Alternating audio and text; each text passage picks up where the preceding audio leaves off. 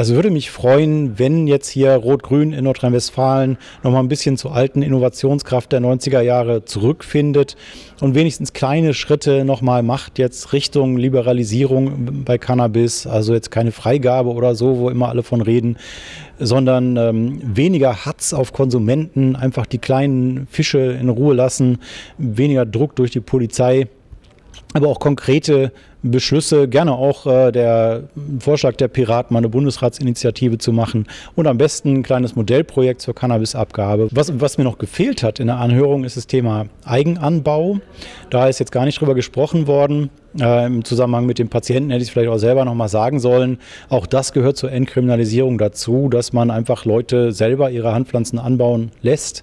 Auch das entzieht dem illegalen Markt Umsatz und auch bei der geringen Menge mal so als erstes Schrittchen. Das kann das Land sogar relativ schnell machen.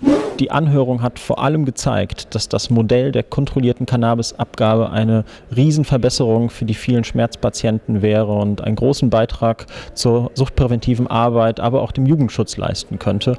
Unter anderem haben das auch die Vertreter vom HAM-Verband und äh, Herr Dr. Hallmann von der Ginkgo-Stiftung für Prävention gefordert. Wir Piraten werden nicht locker lassen, bis Rot-Grün endlich aus dem Quark kommt und sich was bewegt. Wir werden immer wieder dieses Thema auf die Tagesordnung bringen und immer wieder darüber diskutieren, bis der Letzte verstanden hat, worum es da eigentlich geht.